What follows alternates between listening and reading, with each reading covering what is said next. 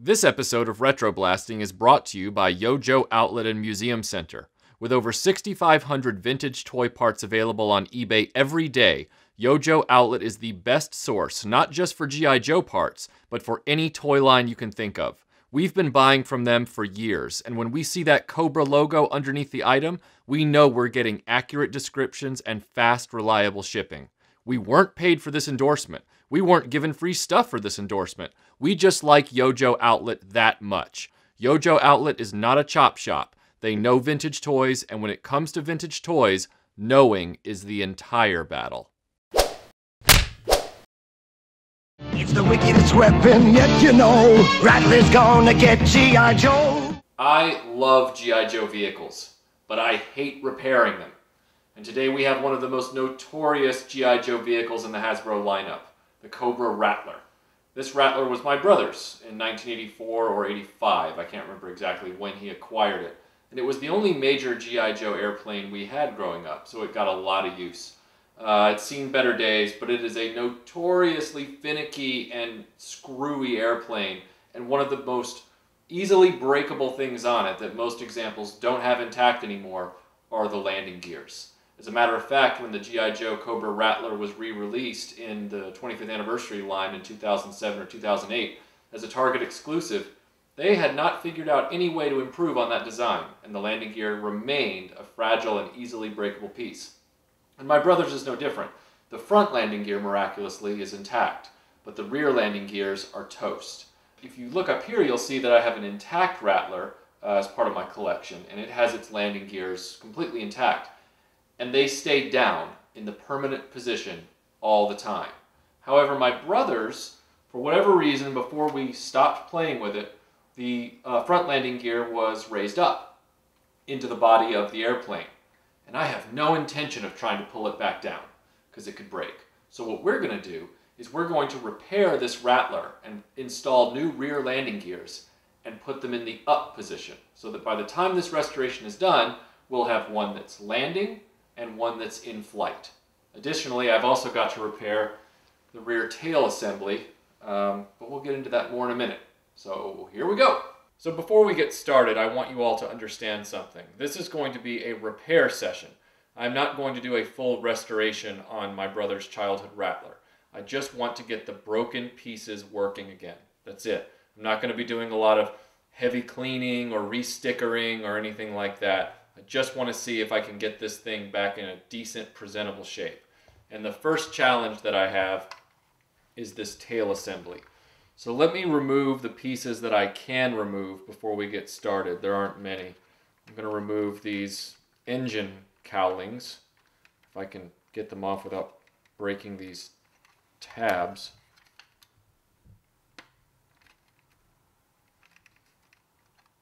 Everything about the everything about the Rattler is just fragile.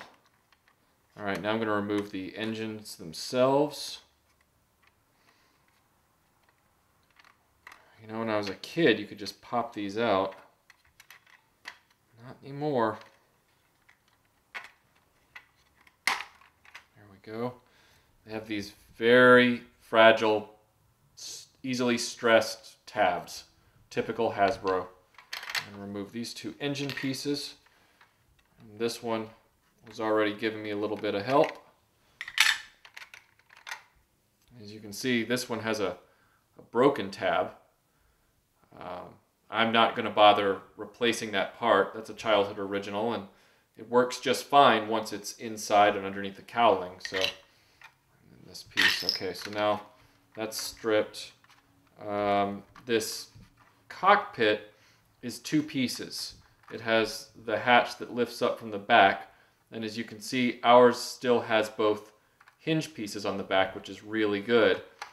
Uh, the front piece just sort of clips in uh, this one also still has all three tabs intact, so we're going to set that to the side, get that out of the way. I don't know if there's an advisable or even safe way to remove this. There we go. That's off and out of the way. Really like to get this piece off, which is the rear turret. There we go. Just lifts out with a little bit of coaxing. And that's really, that's the shell. Now look at this stress mark here on this tail fin. Uh, because the Rattler had this very elaborate tail fin assembly, if you stored it in a toy bin like we did and anything shifted and landed on top of it, the tail would stress and bend. And if I was to point this at you dead on, you might see that this tail fin actually sways out farther than it should because of that, that uh, prolonged pressure. So I'd like to replace this tail fin, and thankfully uh, the guys at Yojo Outlet and Museum Center had a tail fin that had come in, and we are able to use it for this restoration. Um, this tail fin is not perfect. Uh, it does have some stressing going on right here.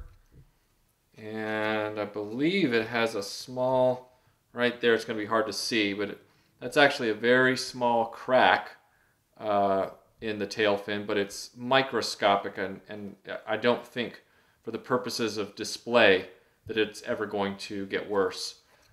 And on top, you can see that it doesn't have those extreme stress marks uh, that the uh, childhood one has. So we got to get that one off and put this one on.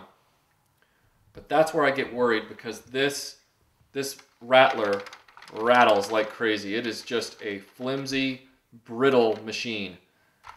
Uh, so this is going to be uh, interesting, and I hope I don't break my toy in the process. Now you'll notice on this tail fin, the one that hasn't been attached to the plane yet, that it snaps in with a fitting on the back side. This is actually facing the rear of the aircraft. The front has an extension on the plastic uh, that would then uh, slot in and then you or slot upward and then you would snap this piece into place. So that means that this has the same configuration and we have to find a way to get that off the plane, uh, which is going to be easier said than done. The last time that we worked on G.I. Joe vehicles, we worked on the Cobra Claw. And you might remember that I used a screwdriver, a flathead screwdriver wrapped in painter's tape. Well, I've since annotated that video online if you go back to watch it because one of uh, our awesome subscribers, uh, he told me that one of the best things to use for trying to separate G.I. Joe plastic tabs was actually um, trim panel removers for cars. And just so happens that because I have a classic car, I have trim panel removers. I have a whole set of them. So I brought this in to see if I could use it to safely remove this tail fin from this rattler. Uh, the tab is at the back in this kind of slot. This is the smallest uh, trim panel remover I have, and it just fits in there. So I'm going to try and use this first. If it doesn't work, I'm going to have to go back to the screwdriver method.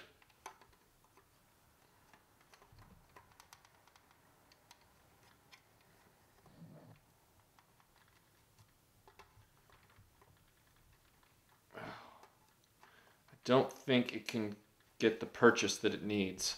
All right, I tried to do it with the uh, other tool as you saw, but it's not going to work for this application. So I've wrapped a flathead screwdriver in painter's tape.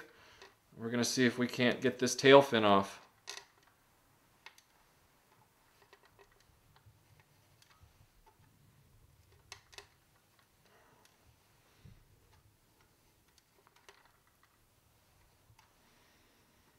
Boy, it doesn't want to come out. God, I hate G.I. Joe vehicles. Alright, so it's out. Just took a little bit of finagling with that screwdriver and it popped right out, which is good. And you can see that the Rattler, it's a finicky beast. We were already seeing uh, areas of stress where there could be potential chipping, uh, air, uh, chipping marks going on if I'd done this wrong. Uh, I don't remember if that was there before I started the repair or not. I'll have to go back to the video and review it and look. But um, the Rattler is just not going to cooperate with you very well. So just be warned. All right, so here's the new tailpiece, which is also an old tailpiece. And you can tell by the matching uh, colors. So we're going to slot that in with this wide part right here. And then we're going to press in on the back and snap in the new tailpiece.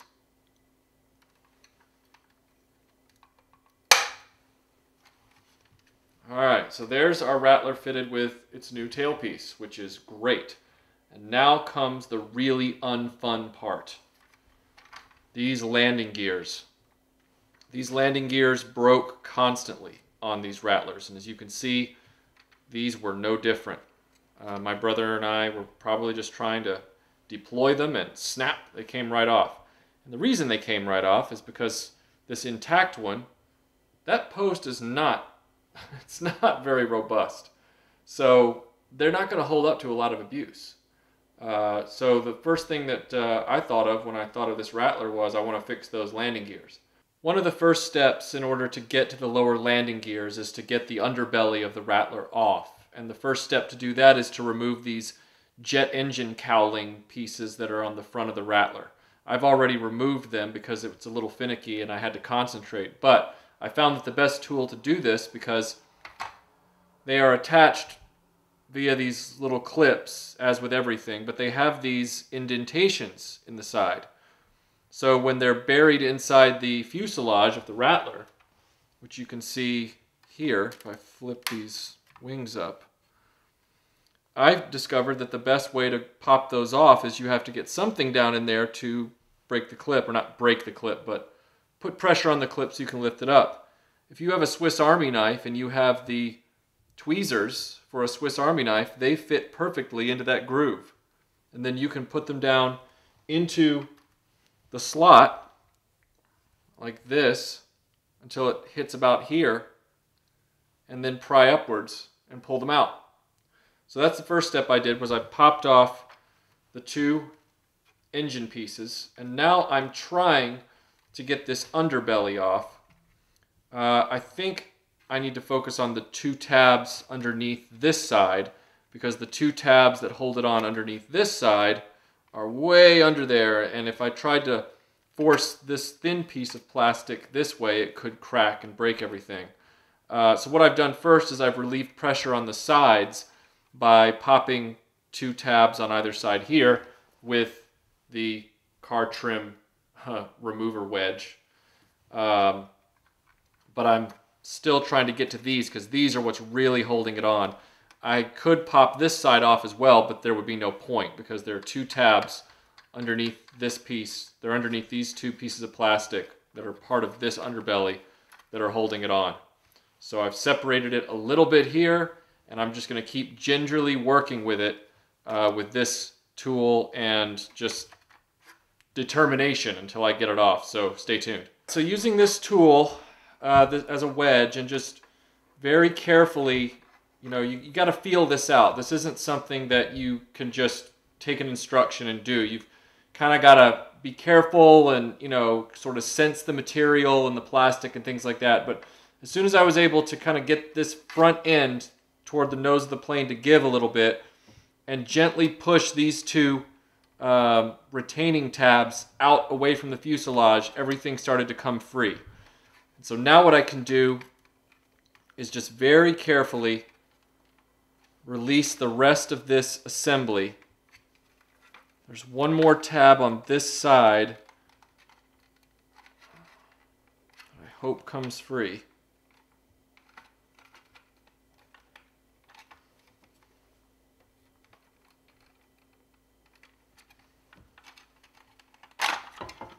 There we go. As you can see, the wings of the Rattler are held together by an actual metal rod uh, that has a square key. Kind of a cool little assembly feature of the Hasbro Rattler. And remember, this was something that you put together yourself. It didn't come like this. You had to actually put this together and thread the rod through the wings and everything. Or your parents did it on Christmas morning. All right, so the next step will involve removing the uh, remnants of the landing gears from this piece. Now this one is going to come out pretty easily. However, this one, it appears that we attempted to glue this broken one back together. And so this one is stuck in there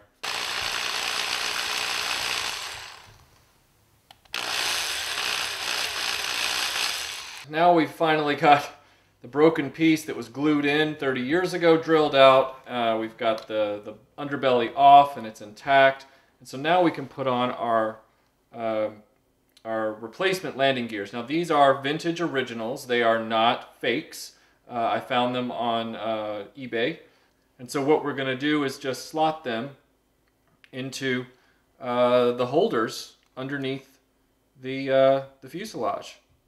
I want to be careful because I don't want to, you know, break them on arrival. I mean, as you can see, they're already wanting to just resist the whole process. This was not a well thought out system. But keep in mind, this is as far as they're going to go for our purposes.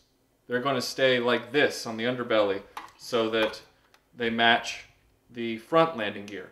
This is going to be our flying example. You do not want to move the Rattler landing gears a lot. You just can't play with them. You choose one position and then you stick to it. yeah, they look good to me. All right, so the next step is to reassemble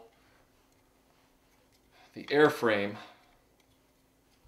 This is locked in properly on this metal rod, which is a square key. Uh, the front of the plane is going to be like this. So this is going to set about like, uh, let's see, like that. Sets in a, there's an inset in the side of the plane. Makes it obvious where those, uh, where this uh, sort of lip sits. You want the, the larger part of the disc on the inside of the fuselage and the rest of the wing goes outward. When you're actually working with it, it's, it's fairly straightforward.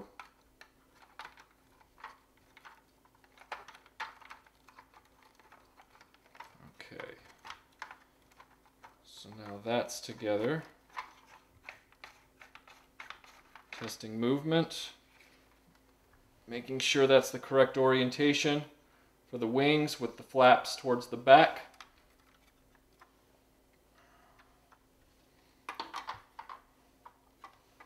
Or ailerons. Alright, so now we get to put the underbelly back on. It's going to go with the landing gear toward the back, and you can always remember that by lining up the missile rack attachments with the ones on the wings. Uh, the way this works is the larger tabs go in first underneath the fuselage and the smaller tabs get snap fit.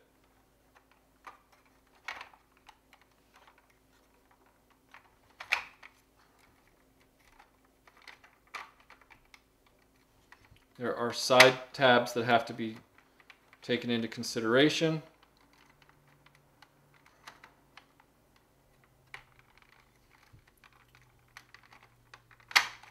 Requires a little fiddling, or a lot of fiddling in this case.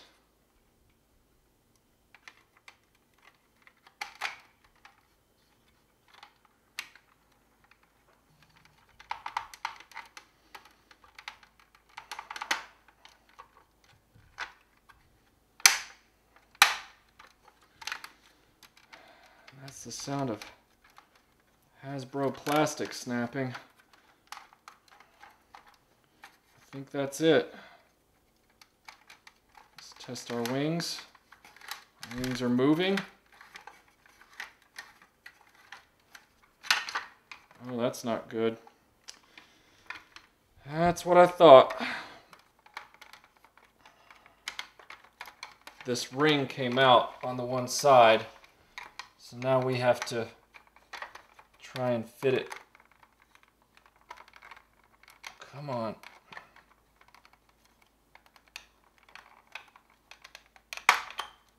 There we go.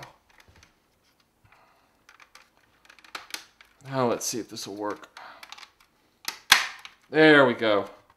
The next step is going to be this windshield. Um, I know that we said this was a repair thread and not a restoration thread, but this windshield looks pretty gnarly. So what I'm going to do is just give it a quick polish with some uh, Novus and see if we can't clear up some of this this fogginess. I'm not going to worry about the underside. I don't think it took much of a beating when we were kids.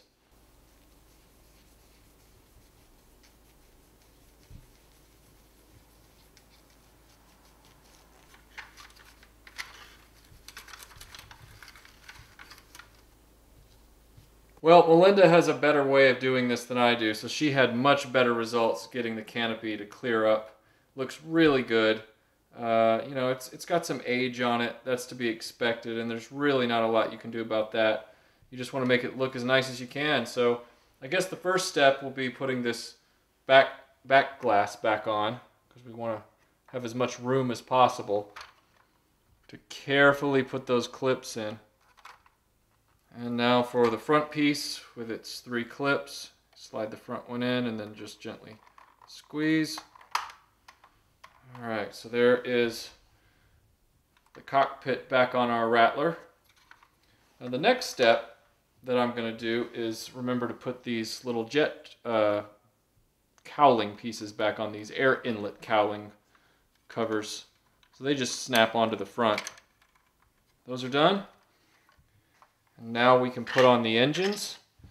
Thanks to some parts from Yojo Outlet and Museum Center, we have the extra engine piece that we needed on the back that was lost when I was a kid.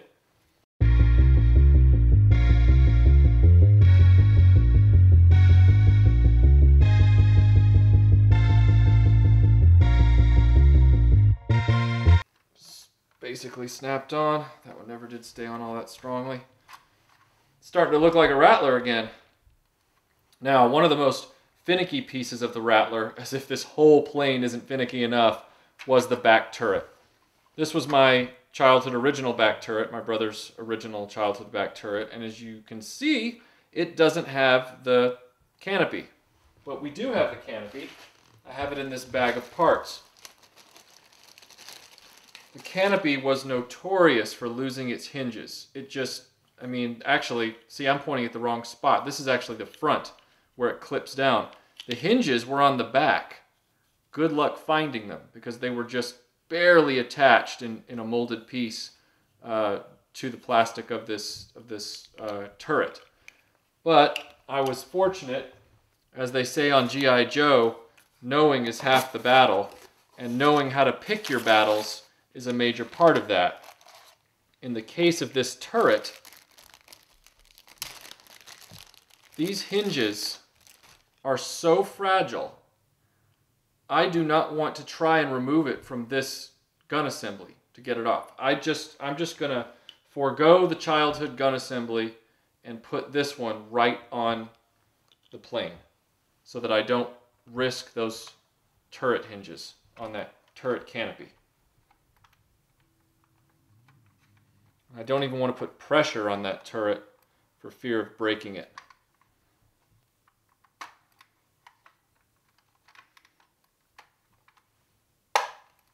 right. There's one intact turret.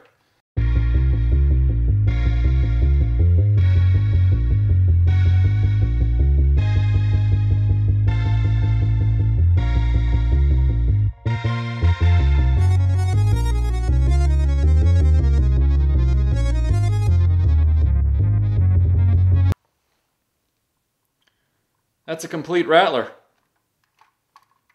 Looks pretty good. And it's in the flight configuration for its intact landing gears. Now, intact landing gears. Well, that was an ordeal, and one I don't want to repeat anytime soon, but the effort was worth it. Our childhood original Rattler is fully repaired, and I've reunited it with its childhood original Wild Weasel, who was sitting up in a shoebox. And he's in great shape because he usually just sat in the cockpit. But the Rattler was worse for wear. But now it's not and it's in flight mode, which is awesome because now I have one that's in landing mode and one that's in flight mode. And this one will probably end up attacking the USS Flagg on display down in the eventual retroblasting studio when it's completed. I'd really like to thank Yojo Outlet and Museum Center for the help with the parts. I went to their store and sure enough, the parts were there. I was just click, click, click, and I had everything I needed, which was awesome. So thanks for watching this and we will see you on the next one.